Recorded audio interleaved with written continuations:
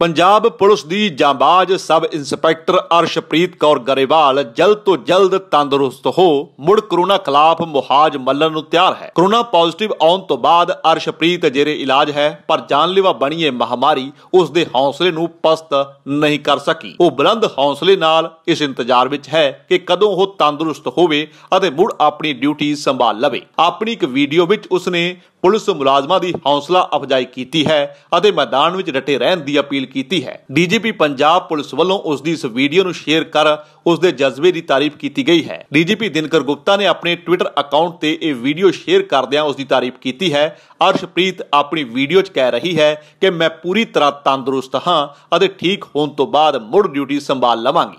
ਅਹ ਤੇ ਮੈਂ ਦੱਸਣਾ ਚਾਹੁੰਦੀ ਹਾਂ ਤੁਹਾਨੂੰ ਸਾਰਿਆਂ ਨੂੰ ਕਿ ਮੈਂ ਠੀਕ ਹਾਂ ਐਂਡ ਮੈਂ ਜਲਦੀ ਹੀ ਠੀਕ ਹੋ ਕੇ I will I will join my duties back Ludhiana ਦੇ ਬਸਤੀ ਯੋਧੇਵਾਲ ਪੁਲਿਸ ਸਟੇਸ਼ਨ ਵਿੱਚ ਤਾਇਨਾਤ 27 ਵਰਿਆਂ ਦੀ ਅਰਸ਼ਪ੍ਰੀਤ ਕੌਰ ਗਰੇਵਾਲ ਏਸੀਪੀ ਕੋਹਲੀ ਦੇ ਸੰਪਰਕ ਵਿੱਚ ਆਉਣ ਨਾਲ ਕਰੋਨਾ ਪੋਜ਼ਿਟਿਵ ਹੋਈ ਸੀ। 17 ਅਪ੍ਰੈਲ ਨੂੰ ਕਰੋਨਾ ਪੋਜ਼ਿਟਿਵ ਹੋਣ ਦੀ ਤਸਦੀਕ ਹੋਣ ਤੋਂ ਬਾਅਦ ਉਹ ਜੇਰੇ ਇਲਾਜ ਹੈ। ਉਸਨੇ ਮੁੱਖ ਮੰਤਰੀ ਕੈਪਟਨ ਅਮਰਿੰਦਰ ਸਿੰਘ, ਡੀਜੀਪੀ ਦਿਨਕਰ ਗੁਪਤਾ ਤੇ ਹੋਰ ਸੀਨੀਅਰ ਪੁਲਿਸ ਅਫਸਰਾਂ ਦਾ ਧੰਨਵਾਦ ਕੀਤਾ ਹੈ। ਉਸਨੇ ਕਿਹਾ ਕਿ ਮੈਂ ਪੁਲਿਸ ਫੋਰਸ ਨੂੰ ਇਹ ਸੁਨੇਹਾ ਦੇਣਾ ਚਾਹੁੰਦੀ ਹਾਂ ਕਿ ਮਜ਼ਬੂਤ ਰਹੋ। ਅਸੀਂ ਕੋਵਿਡ-19 ਦੇ ਖਿਲਾਫ ਇਹ ਜੰਗ ਹਰ ਹਾਲ ਵਿੱਚ ਜਿੱਤਾਂਗੇ।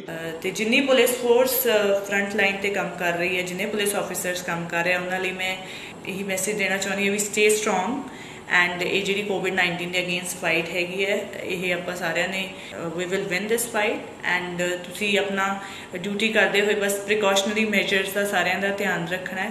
ਉਸਨੇ ਸਲਾਹ ਦਿੱਤੀ ਹੈ ਕਿ ਆਪਣੇ ਹੱਥ ਚੰਗੀ ਤਰ੍ਹਾਂ ਧੋਵੋ ਇੱਕ ਮਾਸਕ ਪਹਿਨੋ ਸੈਨੀਟਾਈਜ਼ ਵਰਤੋ ਅਤੇ ਆਪਣੀ ਖੁਰਾਕ ਦਾ ਧਿਆਨ ਰੱਖੋ ਤੇ ਪੂਰਾ ਆਰਾਮ ਕਰੋ। ਅਤੇ ਲੋਕਾਂ ਨੂੰ ਲਾਕਡਾਊਨ ਦੇ ਨਿਯਮਾਂ ਦਾ ਪਾਲਣ ਕਰਦਿਆਂ ਘਰਾਂ ਵਿੱਚ ਰਹਿਣ ਦੀ ਅਪੀਲ ਕੀਤੀ ਹੈ। ਆਪਣੇ ਹੈਂਡ ਵਾਸ਼ ਕਰਦੇ ਰਹਿਣੇ ਹੈ ਥੋੜੇ ਥੋੜੇ ਟਾਈਮ ਬਾਅਦ ਮਾਸਕ ਪਾ ਕੇ ਰੱਖਣਾ ਹੈ।